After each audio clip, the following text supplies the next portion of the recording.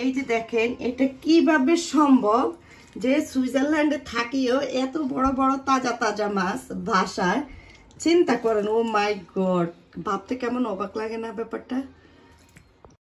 বাইরে ভোয়াল মাছের মাথা কাটতেছে, এত কষ্ট, দেখেন। আর এখানে হচ্ছে মাছগুলা কেটে নিচ্ছে। আপনারা পুরো ভিডিওটা দেখবেন না টেনে, ভালো লাগলে অবশ্যই লাইক কমেন্ট শেয়ার করে দেবেন। কেমন? সাথেই থাকেন। হ্যালো আসসালামু আলাইকুম গাইস আশা করি আপনারা সবাই ভালো আছেন, আলহামদুলিল্লাহ। আমিও আপনাদের দোয়ায় ভালো আছি। তো, আজকে নিয়ে চলে আসলাম। সুইজারল্যান্ডে বসে আমরা কীভাবে বড় বড় তাজা মাছ পাই তাওয়া হচ্ছে আবার বোয়াল মাছ। ভাবতে কেমন জানি ব্যাপারটা লাগতেছে না, এই যে দেখেন আপনাদের ভাইয়া মাছগুলা কাটতেছে। খুবই খুবই ইজিলি ভাবে, আর তারা আমাদেরকে একদম পরিষ্কার করে দিছে। মাছ তাজা মাছের ভাব সবই থাকে আলাদা নবাবি নবাবির ভাব থাকে নবাবির ভাব এই যে দেখেন বোয়াল মাছ তাও বোয়াল মাছ বলে কথা ও মাই গড মার্কেট থেকে কিন্তু এই মাছগুলা কিনতে গেলে কিন্তু অনেক দাম পড়তো আমাদের না? কেজি কত করে পড়তো মার্কেটে পনেরো ষোলো টাকা করে কেজি পড়তো আর এখন আমরা মাত্র ছয় টাকা করে কেজি পাইছি। চিন্তা করেন দশ কেজি মাছ তাও আমি অর্ডার দিছি বেশি দিই নাই আমার বিশ কেজি মাছ নিতে বলছে ইসলাম ভাইয়ে। এগুলা সব সম্ভব, ইসলাম ভাই, দ্বারাই সম্ভব। সবাই দশ কেজি, বিশ কেজি করে নিছে, যে যতটুকু পারছে ততটুকু নিছে। আর আমরা আনছি দশ কেজি, এই যে দেখেন মাথাটা কেটে ফেলছে। আর এই যে মাছটা মাছগুলা কেটে ফেলুক আপনাদের সাথে শেয়ার করতেছে। যেহেতু মার অমনি খুবই অসুস্থ, সে আমাকে অনেক ডিস্টার্ব করতেছে।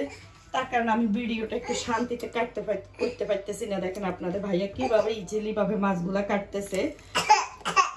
দেখেন।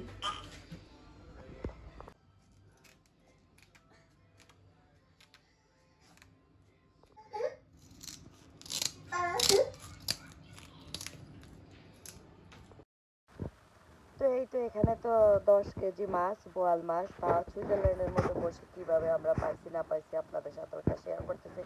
তো আপনাদের ভাইয়া মাছগুলা কাটবে।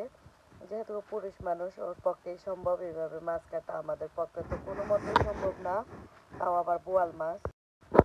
তো এই তো আপনাদের ভাইয়া সব মাছ কাটতেছে তো যেহেতু সব মাছ কাটা পর্যন্ত আমি বাসায় ছিলাম না আমি মারোয়া মনিকে নিয়ে বাহিরে ছিলাম মারোয়া মনি অসুস্থ এটা তো আপনাদেরকে অবশ্যই বলছি আপনারা জানেন, মারোয়া মনি যে অসুস্থ, তো দশ কেজি মাছ কীভাবে কাটলো এতগুলা মাছ, তো আপনারা অবশ্যই দেখেন।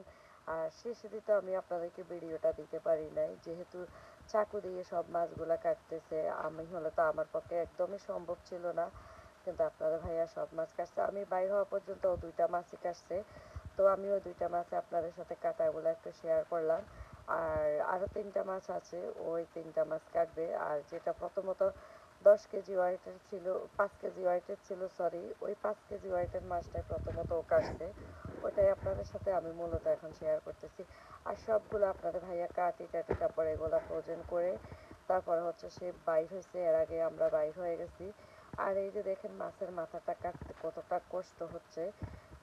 মাছ কাটতে অতটা কষ্ট না কিন্তু মাথা কাটতে যতটা কষ্ট হয়েছে কাটাগুলা অনেক কষ্টকর আর ও দেখি পারছে আমি হলে তো জীবনও পারতাম না এভাবে কাটতে তাও আবার বটি দিয়ে যদি কাটা যায় সম্ভব হইতো কষ্ট হইতো কিন্তু ছাকরি কুটকুট করে এগুলা কেটে ফেলছে তো ইসলাম ভাইকে অসংখ্য ধন্যবাদ এতগুলা মাছ আমাদেরকে এনে দেওয়ার জন্য তাজা তাজা তো সবাই তো সবার মন মতে নিচ্ছে কেউ বিশ কেজি, কেউ পঁচিশ কেজি, কেউ দশ কেজি, যে যা পারছে সব নিছে। তো আমার, আমরা তো দশ কেজি নিয়ে আসছি সেটা তো আপনাদেরকে বলছি প্রথমে। আর যেটা সবচেয়ে বড় আমার মাছ ছিল পাঁচ কেজি, ওটা আগে দিয়ে কেটে ফেলছে যে দেখেন ওটার কতগুলা হয়েছে আর এখানে আরও তিনটা আছে, ওই তিনটা পাঁচ কেজি হয়েছে তো বিশেষ করে আমরা বেশি বেশি বড় আর মাছ আনি নাই। একেবারে পুরা দশ কেজি ওয়েটেরও একটা মাছ ছিল, ওটা আনোয়ার বাইরা নিছে। অত বড় মাছ ভালো লাগে না আবার খাইতে সেই জন্য আর আনি নাই। সেই জন্য আমি এত বড় বড় আনছি, এগুলো আবার খাইতে মজা আছে খাওয়ার সময়। আর এখানে দেখেন দুইটা মাছের মাথা কাটছে। দেখেন কতগুলো হয়েছে আর জানি আর বাকি তিনটা মাছের মাথা কাটলে কতগুলো হয়। তো এই মাথাগুলো আমি কি করব আমি বুঝতেছি না, ওইগুলো এখন আপাতত আপনাদের বাইরে রেপ করে রাখছি। পরে দেখা যাক কি করা যায়, যেহেতু আমাদের বাসায় কেউ মাছ খায় না, শুধু আপনাদের ভাইয়াই খায়।